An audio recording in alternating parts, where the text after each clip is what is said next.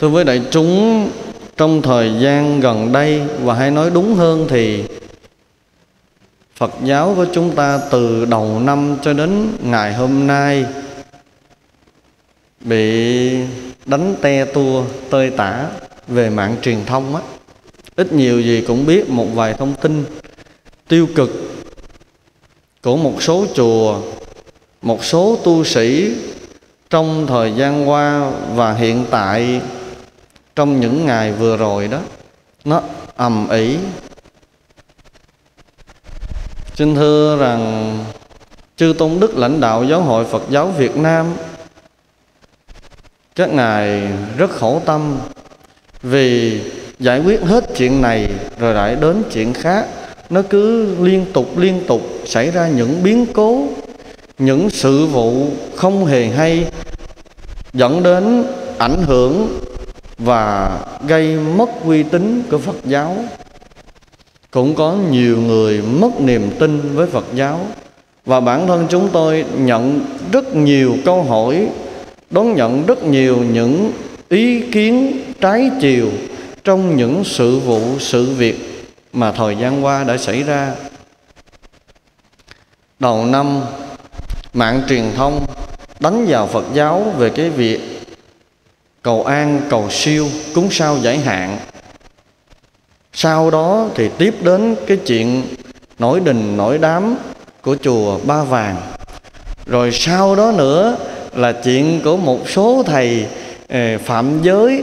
Rồi chuyện quý sư cô đánh nhau. Rồi chuyện một vị thầy, một vị sư cô ra ngoài sân bay cãi lộn chửi, bới um sùm. Đủ thứ chuyện hết rồi gần đây là có thầy đập kính xe ô tô.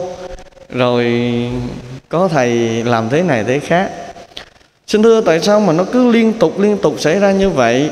Và hôm nay tôi không biện minh, tôi không nói điều đó có hay không. Nhưng chúng tôi muốn cung cấp cho các vị một số kiến thức để khi đối diện với những sự vụ, sự việc, các vị bắt gặp hình ảnh, thông tin mà các vị đọc được ở trên mạng hoặc là nghe từ một người nào đó nói, các vị có cái phương pháp để ứng xử. Thứ nhất, chúng ta không phải là cơ quan điều tra. Chúng ta cũng không phải là người có trách nhiệm ở trong giáo hội. Thế cho nên khi có những thông tin về hình ảnh, về video clip hoặc là về một người nào đó nói với chúng ta chùa đó như vậy, chùa đó như kia. Vị thầy đó phạm giới, phạm lực như thế này, thế khác.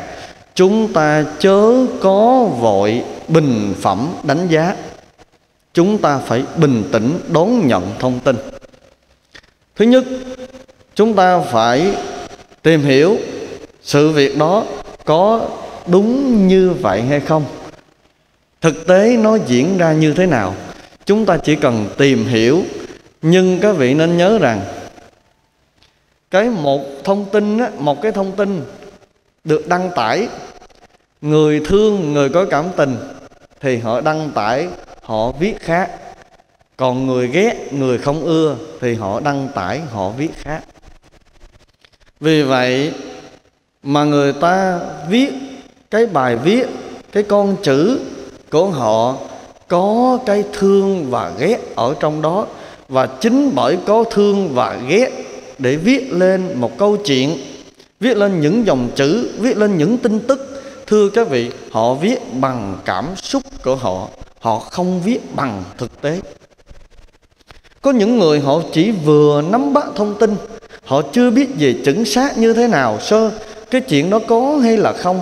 Họ chỉ biết về thông tin lón thoáng sơ sài, thì họ lại viết theo cảm tính của họ họ không ưa phật giáo họ không có thiện cảm với quý thầy thì họ giết, họ chê bai thậm tệ lắm.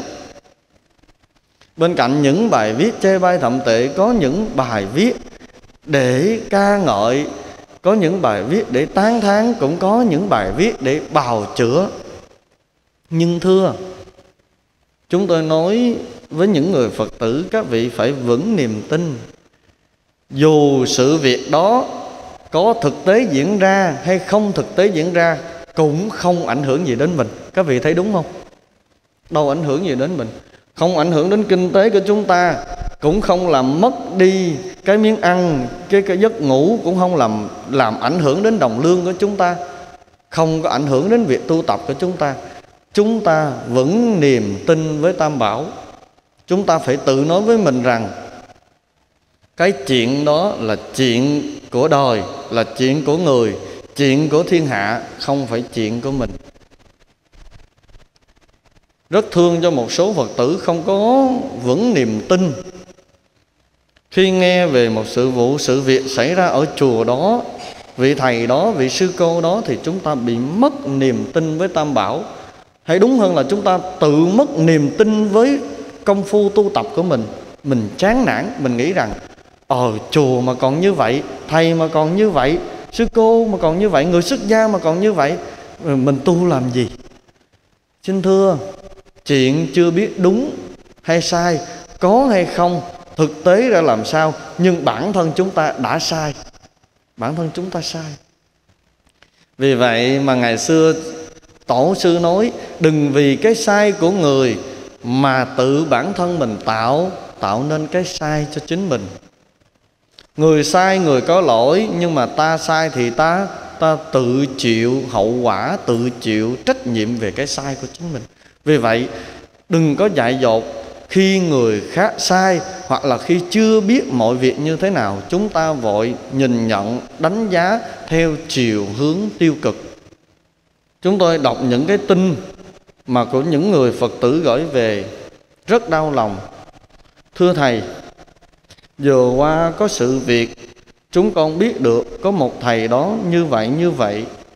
Chúng con cảm nghĩ rằng đã là người xuất gia mà còn sai lầm như thế, thì hàng phật tử chúng con tin vào ai, tin vào đâu? Xin thưa, tôi đồng ý cái lời cái lời mà phê phán, cái lời trách móc, cái lời bình phẩm này nó không sai.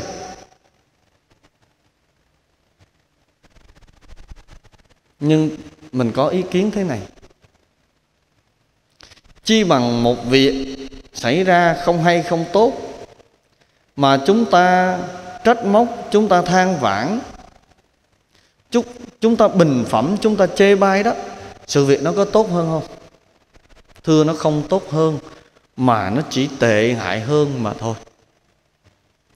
Chính vì vậy khi chúng ta đối diện với những sự việc đó, điều cần thiết đầu tiên là chúng ta phải bình tĩnh và nghĩ rằng đây không phải là việc của mình. Nếu như mình có ý muốn tìm hiểu chuyện đó đúng hay sai, có hay không, thì tìm hiểu và khi mình biết kết quả, thì mình phải nghĩ rằng đó là chuyện của người, chuyện của đời, không liên can gì đến mình. Niềm tin đối với tam bảo vẫn vững, đối với công phu tu tập vẫn giữ chứ không có gì thối thối mất niềm tin. Vì chính ngày xưa đức phật cũng đã dạy rằng, mình phải nương vào giáo pháp để mà tu, chứ không y cứ, không gửi niềm tin của mình cho riêng một vị thầy nào, một vị sư cô, hoặc là một vị xuất gia nào. Mình cũng không gửi riêng cái niềm tin của mình cho một ngôi chùa nào. Mình là phật tử quy y, mình là đệ tử chung của tất cả quý thầy. Tăng là gì? Tăng là hòa hợp. Tăng là chỉ cho bốn vị xuất gia cùng tu về pháp hòa hợp, gọi là tăng, chứ một cá nhân chưa gọi là tăng. Các vị nhớ như vậy. Một mình thầy minh thiền chưa gọi là tăng, và một mình thầy minh thiền không có quyền đại diện cho tăng đoàn. Một ngôi chùa đức hòa không có quyền đại diện cho tất cả ngôi chùa. Các vị nhớ như vậy. Sau này tôi nói thí dụ tôi có điều gì đó sai, các vị cũng nên mỉm cười. À thầy cũng chỉ là một người phàm phu tập tu mà thôi. Thầy chưa phải là thánh. Thầy chưa thầy chưa phải là một người đại diện cho phật giáo. Thầy cũng không phải là người đại diện cho tăng đoàn. Thầy là một cá nhân đang tập tu. Và chuyện tập tu thì phàm phu, ai cũng có những khuyết điểm, cũng có những cái sai. Cần, ở nơi người khác là cần sự thông cảm cần sự chia sẻ và cùng nâng đỡ nhau để tu. Đệ tử phật phải có trí tuệ như vậy. Đệ tử phật, thấy người ta sai, mình đừng có chê bai. Thấy người ta sai, mình phải tự ý thức lại bản thân mình. Người đó sai, mình bây giờ chưa sai, nhưng chắc gì trong tương lai mình không sai? Người đó bây giờ họ quấy, mình bây giờ chưa quấy, nhưng chắc gì trong đời sống ngày mai mình không sai quấy? Chính vì vậy, người ta tạo một việc gì đó sai là tấm gương để mình phản chiếu lại chính mình. Thay vì mình trách móc, thay vì mình than vãn, thay vì mình dèm pha thì bây giờ mình nên cảm ơn người sai vì nhờ họ là tấm gương để tự mình cảnh tỉnh lấy bản thân mình, để mình không phạm phải những cái sai lầm như họ. Thưa đúng không ạ?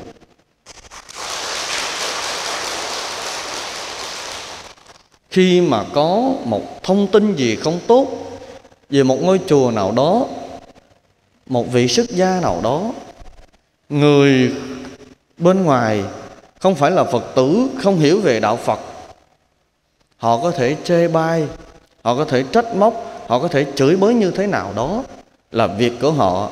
Mình mong rằng một ngày nào đó họ có nhân duyên tìm hiểu về giáo lý của đức phật họ hiểu về nhân duyên đời sống, họ hiểu về nghiệp lực của mỗi chúng sinh mỗi khác, thì họ sẽ có cái nhìn cảm thông hơn.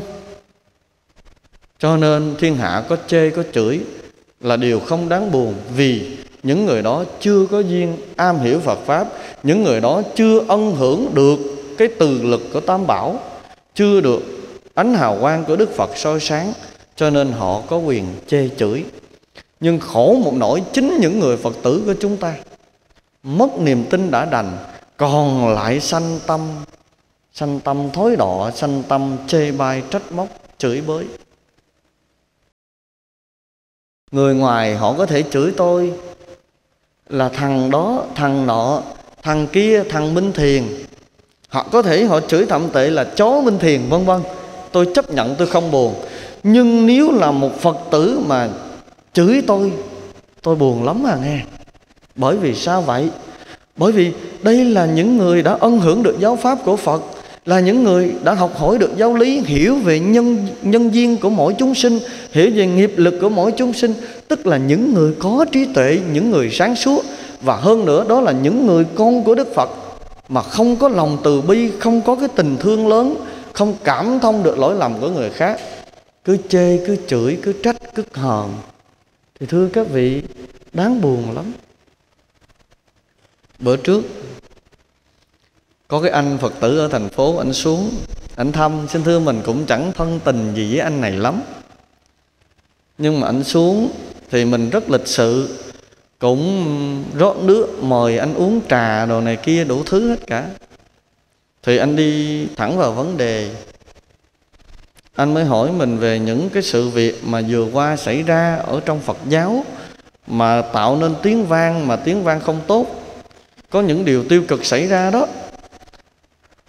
Thì những việc như vậy mình nhìn nhận, đánh giá ra làm sao?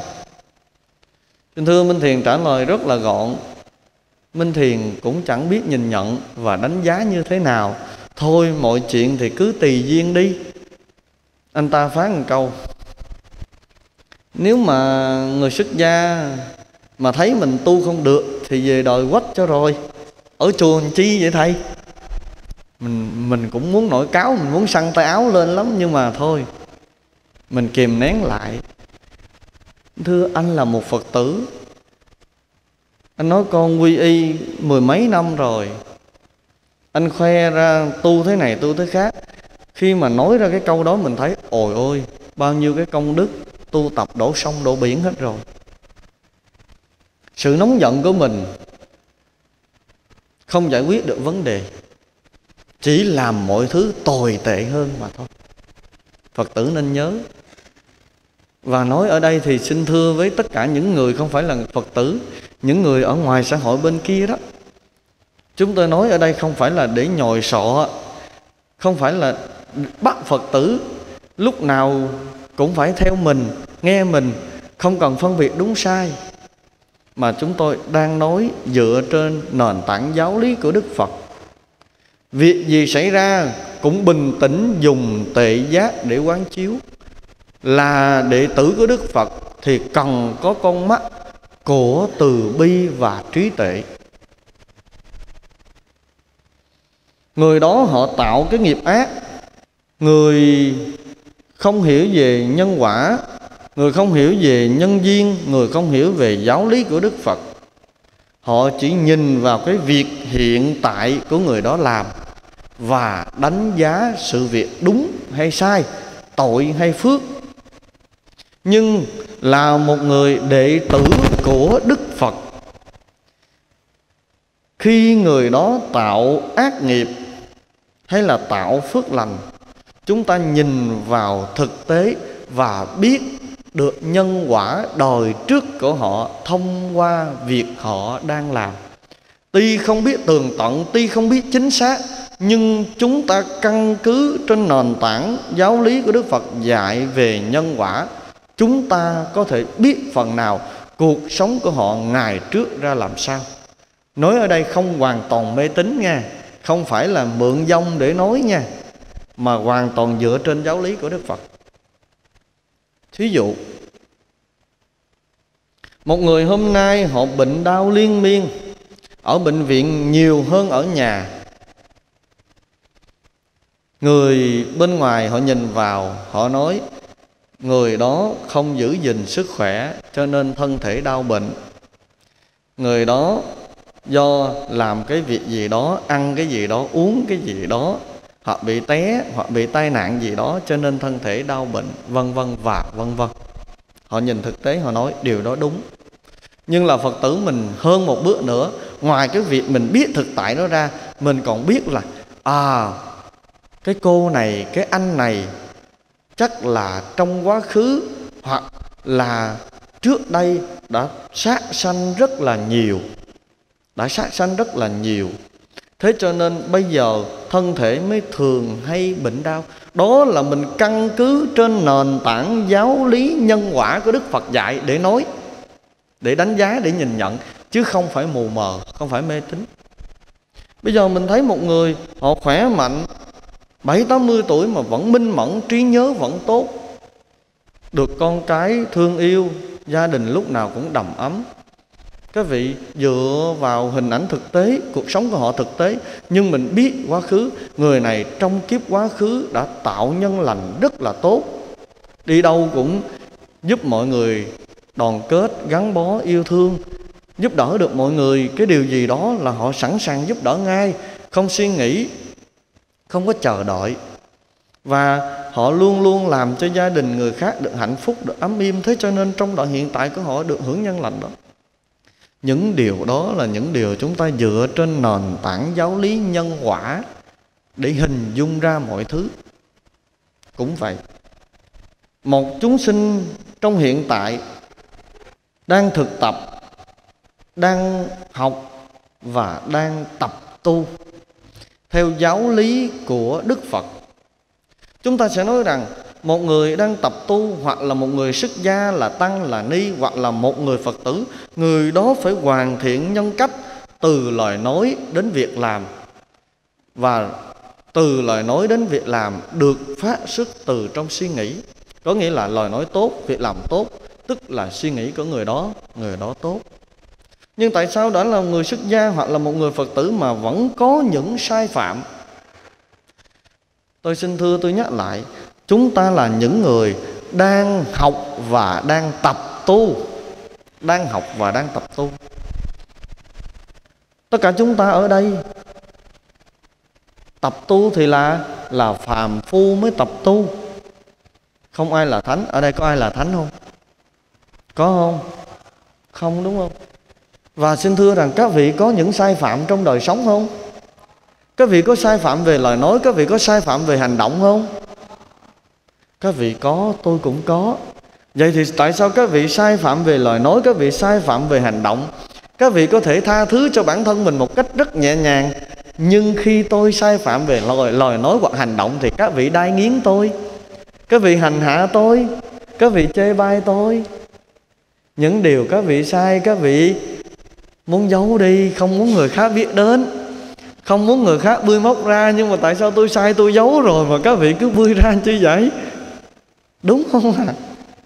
đây là mình nói tâm lý chung như vậy thì từ vấn đề phàm phu học và tập tu đó, chúng ta nhìn nhận rằng dù hình thức nào, dù hình thức nào thì người đó cũng là một con người bình thường giữa xã hội họ cũng có trái tim, họ có cảm xúc, họ cũng ăn cũng ngủ và họ vẫn có ham muốn như bao người khác, nhưng đang tập tập tập tu tức là bớt bớt dần lại chứ chưa phải là dứt hết. Bớt dần. Ở trong một bài kinh, đức phật có nói về những con rùa bị người thợ săn bắt làm thịt. Đức phật nói, này các thầy tỳ kheo, thí như trong một cái ao đầm kia có những con con rùa sống lâu năm và những con rùa non. Những con rùa sống lâu năm nói với những con rùa non rằng, đừng có đi đến đám cỏ xanh đó. Ở đó tuy có cỏ, có thức ăn phong phú, nhưng đi đến đó sẽ làm mồi cho thợ săn. Vì những con rùa sống lâu năm biết được ở đám cỏ ấy có những người thợ săn đang đặt bẫy và trực chờ bắt những con rùa. Thế cho nên dặn những con rùa con đừng đến đó để kiếm ăn mà phải bị bị tiêu hủy cái thân mạng này.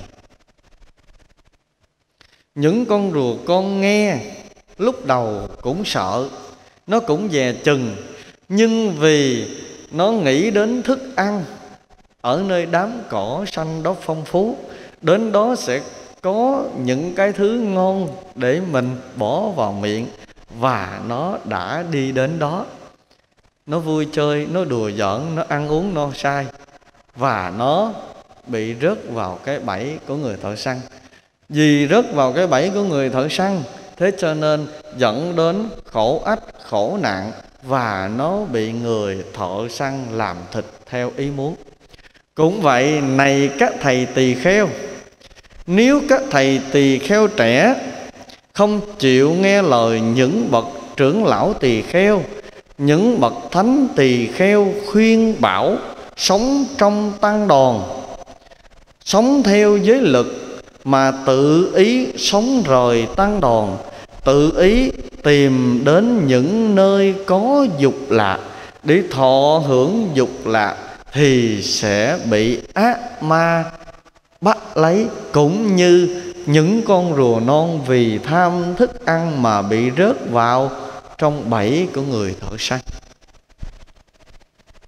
Vậy thì, thời của đức phật, tức là thời đại chánh pháp hưng thịnh nhất, đức phật còn tại thế và có rất nhiều những bậc thánh tăng đang có mặt, cũng có những tỳ kheo sai phạm cũng có những người xuất gia sai phạm, cho nên đức phật mới dạy như thế, đúng không ạ?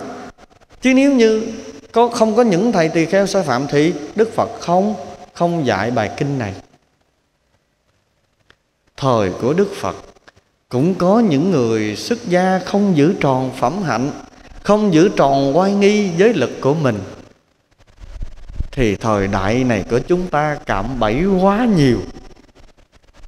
Nó kinh khủng lắm các vị muốn biết người tu nó khó như thế nào, bữa nào vô chùa cạo tóc tu vài ngày đi, biết nỗi khổ.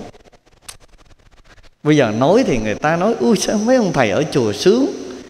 Ăn rồi cứ ở không cho mọc thay nhưng ông thầy minh thiền đó thì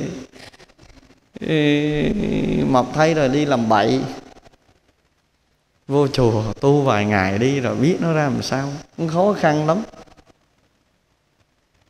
Vậy thì thời của đức phật. Đức phật lấy cái ví dụ, những con rùa non không nghe lời, những con rùa sống lâu năm mà dẫn đến bị thợ săn bắt để làm thịt.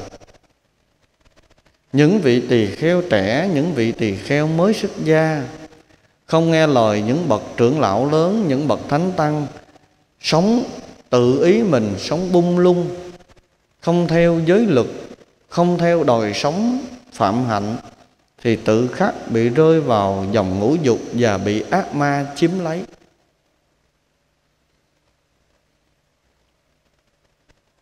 Tôi không binh người xuất gia đâu. Tôi cũng không nói để bao che.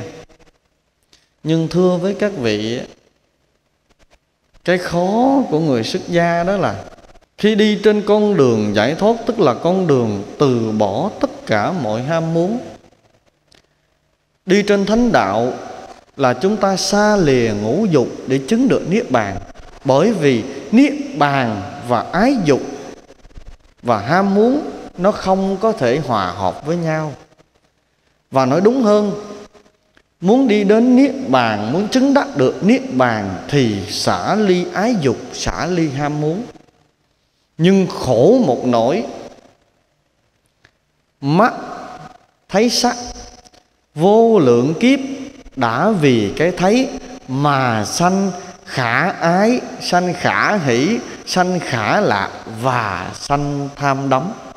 Từ cái tham đắm đó bắt đầu khởi lên ý niệm thủ đắc, tức là muốn chiếm về cho mình. Như vậy thì theo cái dòng sanh tử này vô lượng kiếp, con mắt của tôi đã tham mê vào sắc đẹp. Bây giờ tôi tập tu, tức là tôi bớt lại, tôi làm sao tôi đối kháng, tôi chống chọi lại. Chứ không phải bây giờ tôi tập tu là tôi thấy sắc, tôi không biết đó đẹp xấu, tôi không được quyền ham muốn.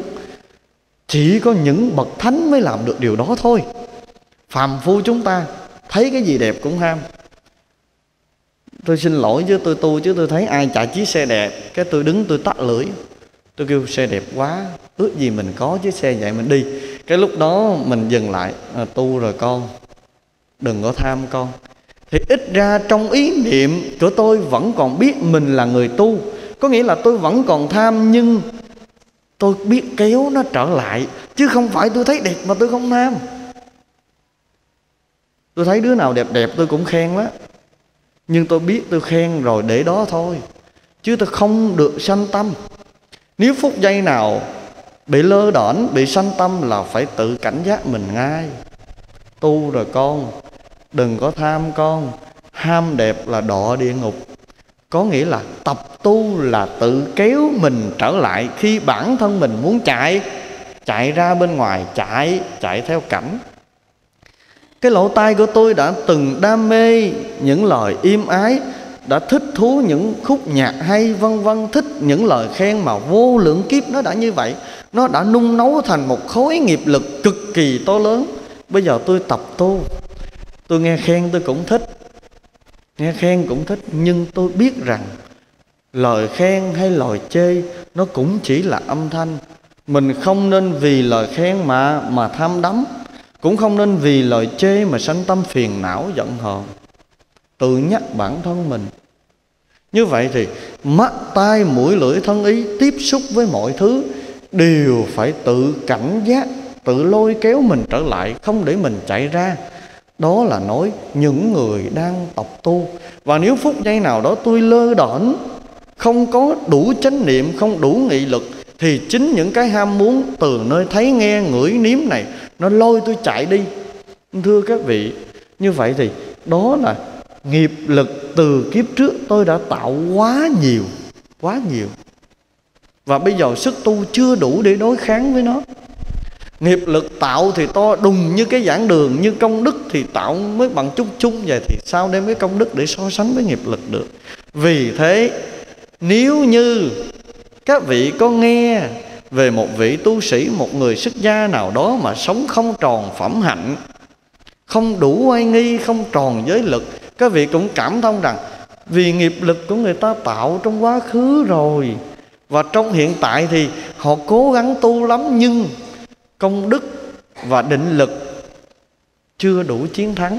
Nên cảm thông, nên hiểu, nên bao dung và nên thương người đó nhiều hơn chứ đừng có trách móc đừng có chê bai đừng có chửi rủa. Thưa các vị đồng ý không? Sư phụ cũng, cũng thương tôi lắm đó.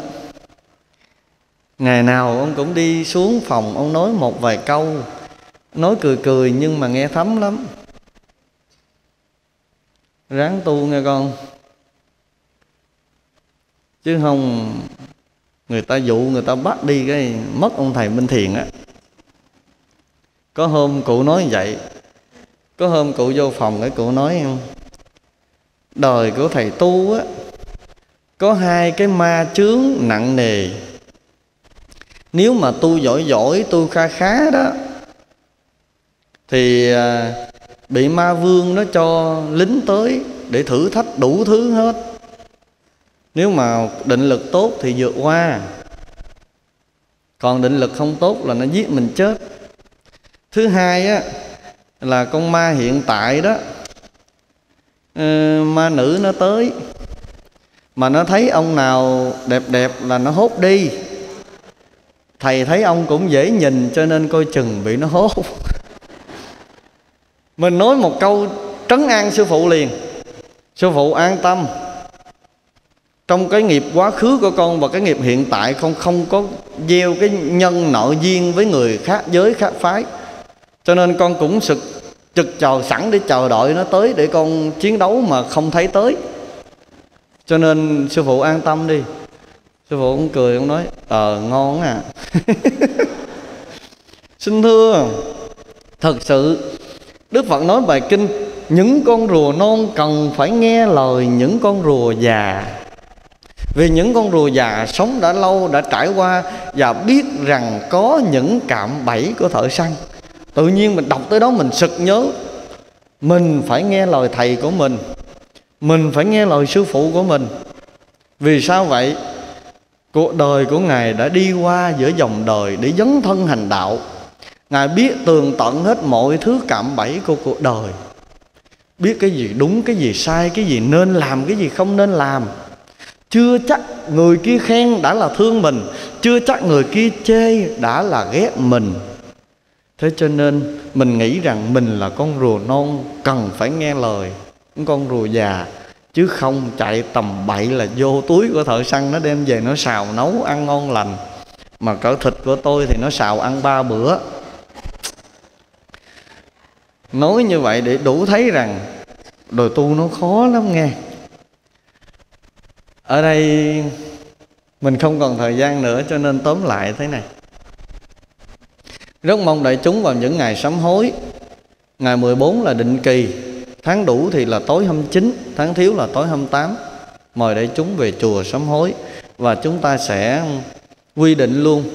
Cứ mỗi buổi sám hối là từ 6 18 giờ 30 sẽ có quý thầy giảng cho các vị nghe. Còn vào ngày 19 hàng tháng đó thì chùa chúng ta điều lễ 300 lễ. À, 19 tháng 2, 19 tháng 6, 19 tháng 9 thì lễ 500 Mời đại chúng các nơi về dự lễ. Điều thứ hai Chúng ta nên cảm thông Nên thương Nên hiểu về hoàn cảnh Của những người Cùng tu. Đang tập tu với chúng ta Dù ở hình thức là Phật tử Hay là người xuất gia. Để bao dung và chúng ta tự cố gắng nỗ lực tu tập cho mình nhiều hơn. Bởi vì có người sai, chúng ta thấy, chúng ta tự cảnh tỉnh mình để mình đừng vướng vào cái sai.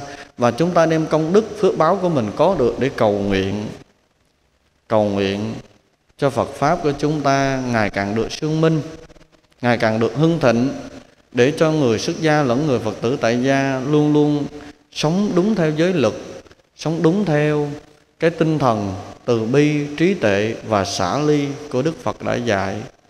Xin cảm ơn tất cả đại chúng đã ngồi lắng nghe. Chúc các vị nhiều sức khỏe. A di đà phật.